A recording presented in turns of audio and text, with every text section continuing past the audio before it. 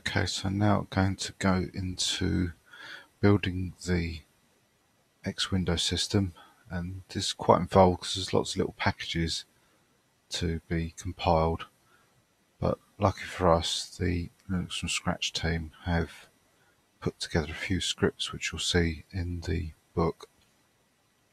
So I've just started the machine up.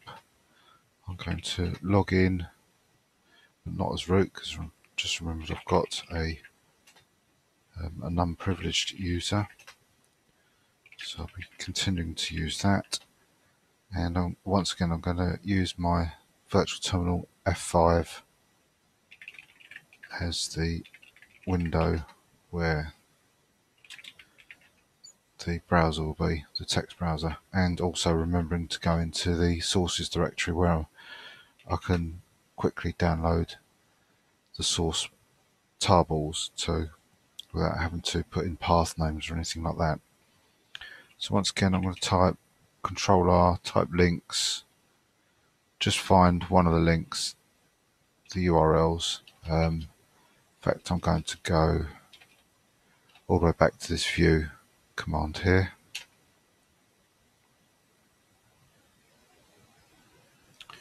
And it's 11.0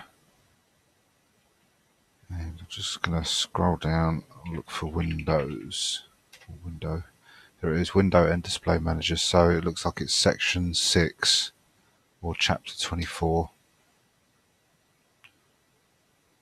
Um, if I just go back, you can see all these little individual packages we've got to install all the down there. So there's like a page page worth, probably 20 or so.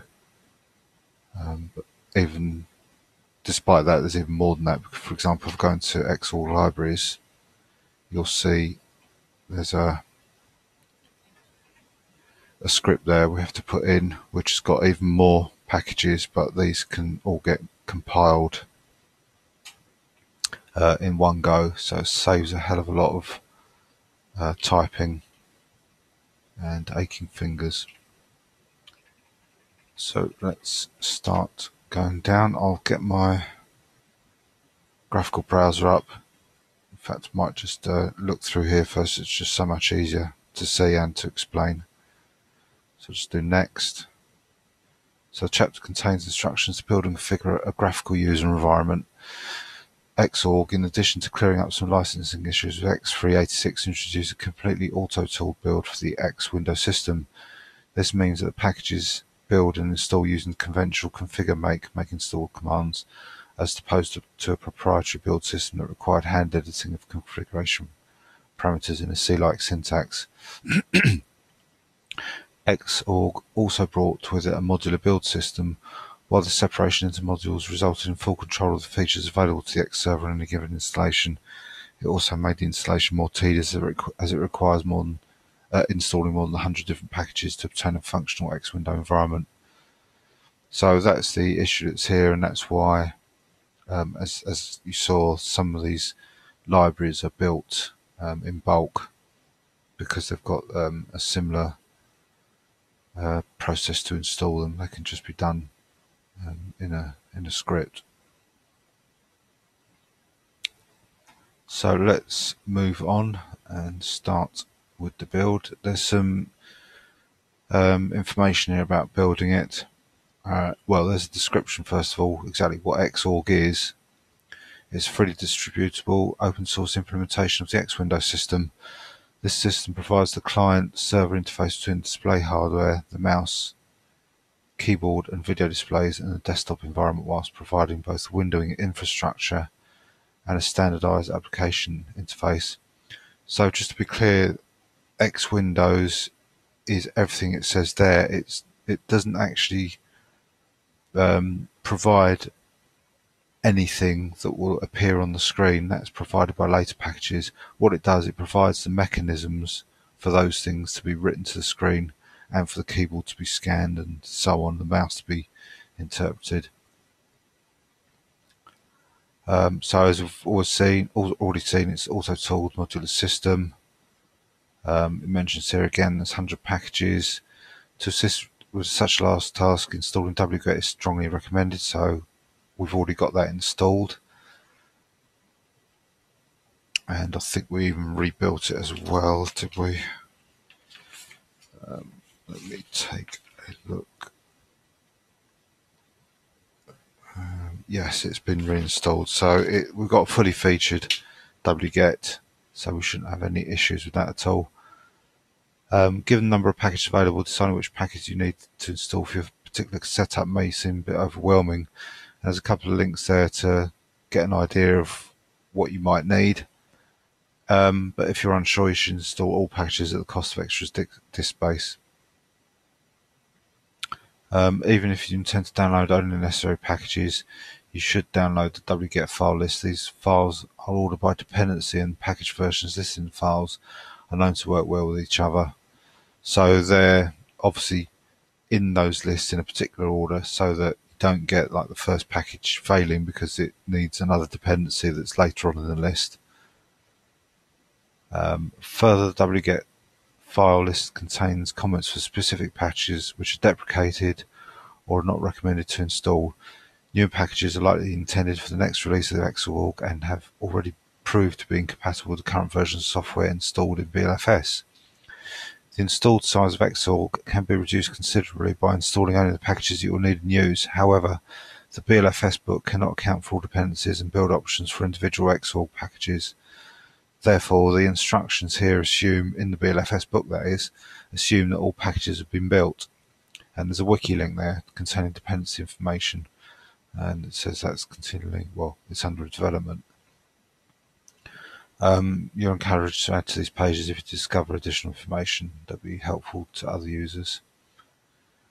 Um, additionally, because of the large number of repetitive commands, you are encouraged to partially automate the build. Instructions will be given that utilize sudo. It's recommended to use the sudo configuration option for the user that will be building the Xorg packages. Um, I think have I already shown that? Let's check that. Um, so if I become sudo SU, yes, that looks like that's already the case. Um, if I go back oops, to the graphical browser, just, oh, it doesn't tell us what the uh, config file is, so I'll try and remember it. It's sudoers.d sudo. Yeah, so that's if you haven't done it already, um, I have actually already shown how to do this, but just in case you decided not to do it, as I said, it is possibly a security issue because it means anybody who's got access to the user or a user that's in the wheel group at the moment um, will be able to come root just by typing sudo um, without any challenges for the password to prove that the person who's requesting that root access is actually um, the person whose account uh, is in use at the time. Um, I may even change these as well, possibly these paths. Um, but we'll see how we go. But certainly, as you saw, I, I used sudo, uh, the sudo command, and I wasn't challenged from password. So that no password colon, as you see there, will achieve that.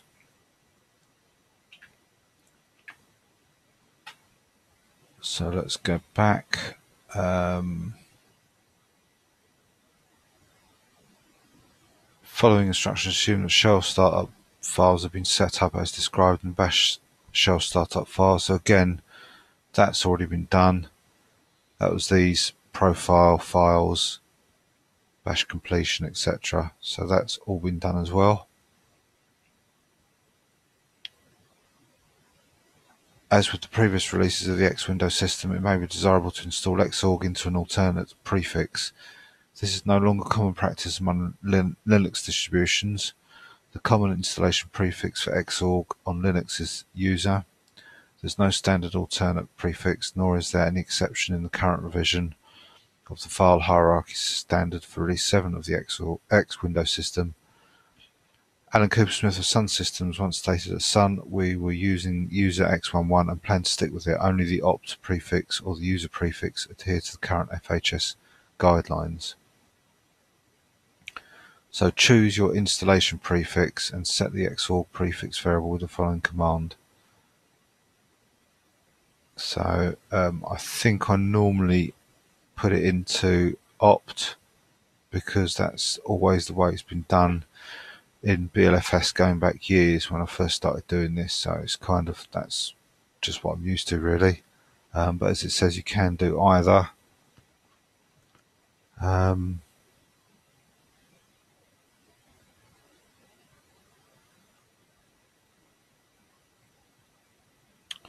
So this is where there is a difference in the installation. If you do decide to install in the user prefix, you must omit the remainder of this page and continue to at util macros, which I presume is the first package to build. And that's probably because these configuration files are putting in the prefix that basically is not standard, if you like, I suppose, or not, not commonly in use, which is the user prefix these paths will probably already be set under user, um, but they need to be set if you're using the opt prefix. So as I say, I'm going to use the opt prefix purely because that's how I've done it. If you want to use the user, then obviously don't copy exactly everything I do. For example, don't copy these files and paste them in. Um, because of that warning there. You must omit the remainder of this page. Okay, so I think the thing to do now is go back to the terminal, go to our browser and go onto these pages where the scripts are. So I'll just go on to next page, introduction, and here you can see again it says about choosing the prefix. So the first thing to do is to copy the first export.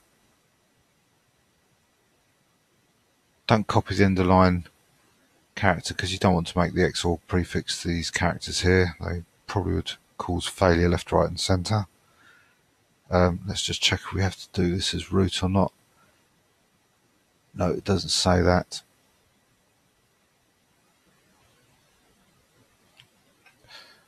So paste that in and now we can change the um, path. So it's forward slash opt and press enter. Throughout these instructions, you will use the following configure switches for all of the packages. Create the xorg variable to use this parameter substitution.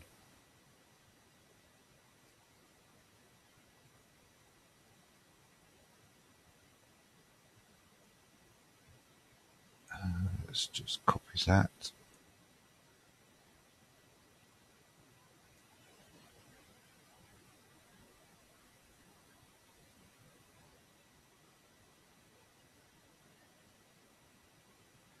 Um, I'm just checking something.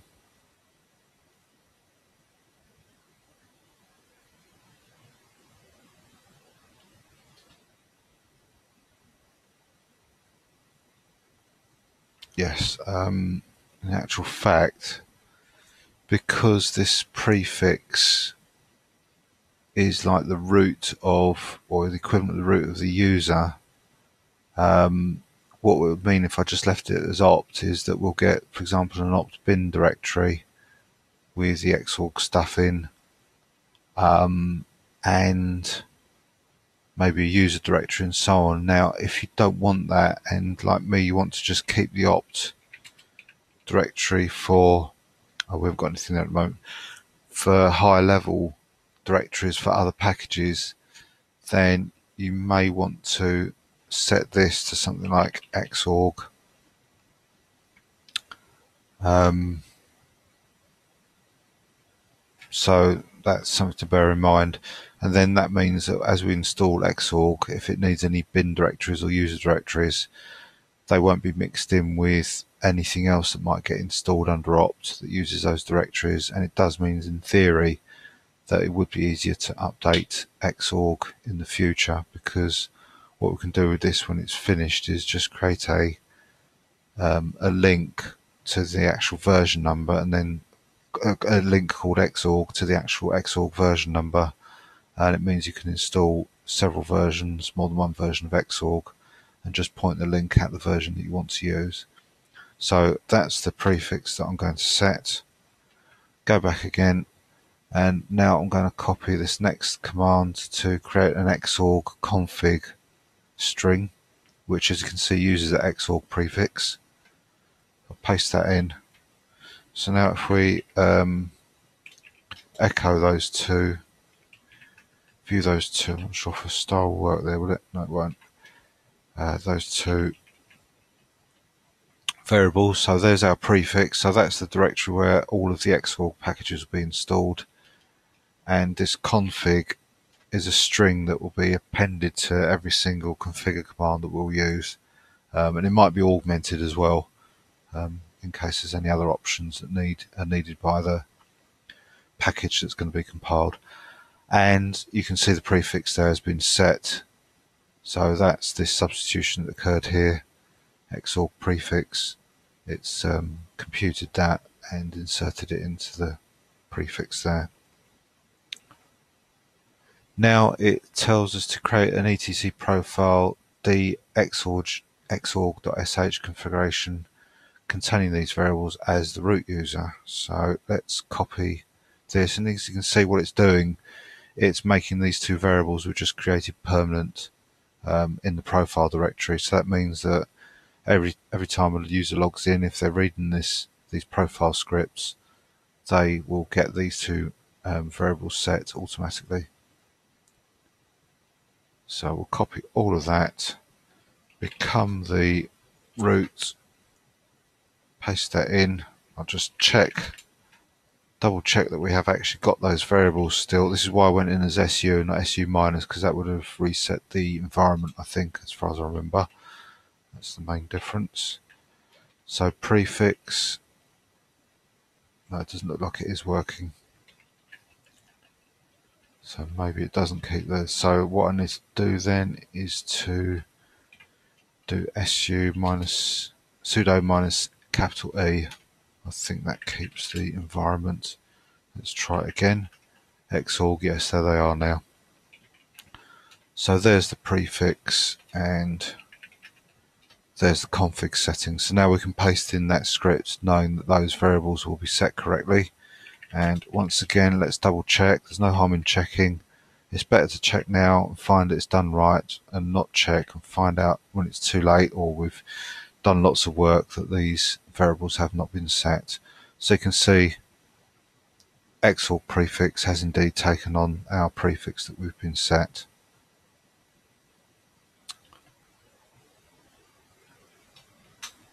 And we'll move on.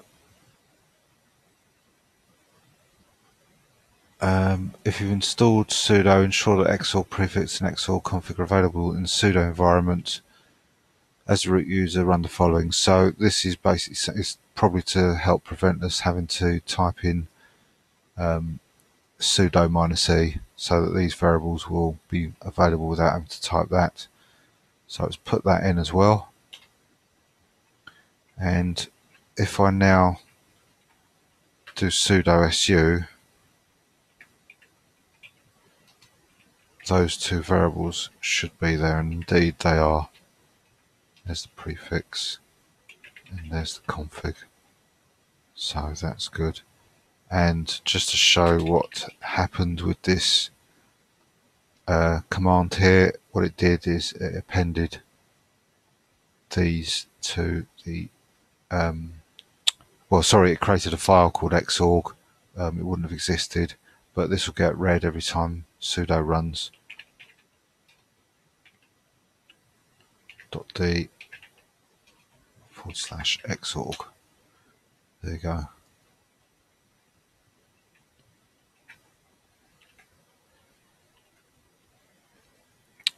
Um, okay, so now the warning, if you decided to use a standard user prefix, you must omit the remainder of this page and continue at utils macros. So, as I said, if you're not following exactly what I'm doing, if you've decided to use user, that's not a problem. But don't carry on with this next bit that I'm going to do uh, just skip forward to the util macros as it says there. if you've decided not to use the standard prefix, be sure to add xorg prefix bin to your path environment variable and the xorg prefix lib package config and xorg prefix share package config to your package config uh, path variable. It is also helpful to specify additional search paths for GCC and an include directory for the aclocal program. So issue the following commands as the root user. So that's what these commands do because then because it's not standard the executables that we're going to create won't be in the path so that's what this does and so on whereas under user user bins already in the path so would have uh, been put in the path by default any executables so I'll become the root again and copy and paste this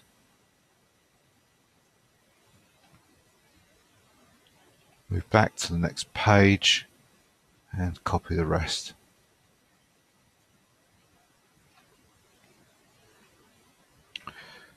So the script above needs to be activated. Normally it will be an automatic logon, but to activate it now as a regular user, we can source it.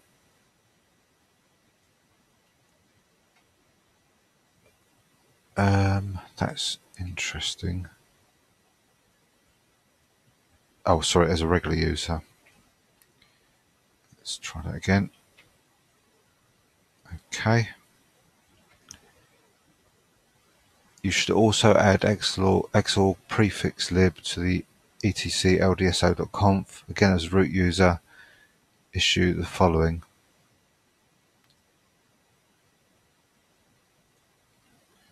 So let's issue that.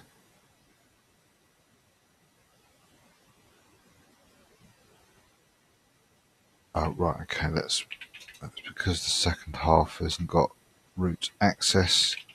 Let's just do sudo su and replace that command and it will work.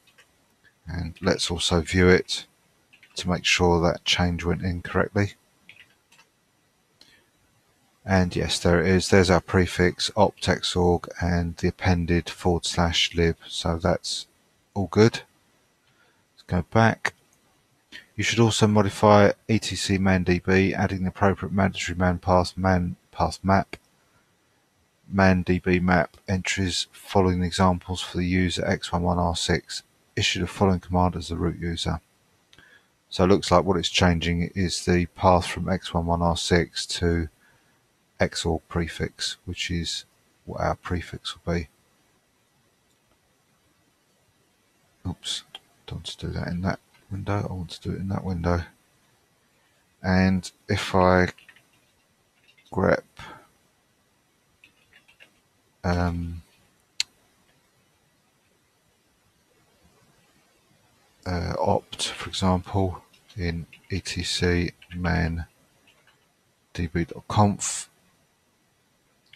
you can see there, there's our prefix opt.xorg, opt.xorg. Um, and opt.xorg there. So those changes have been made.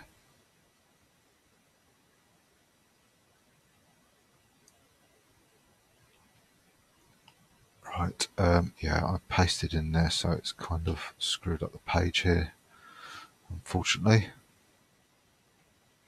So let's go back again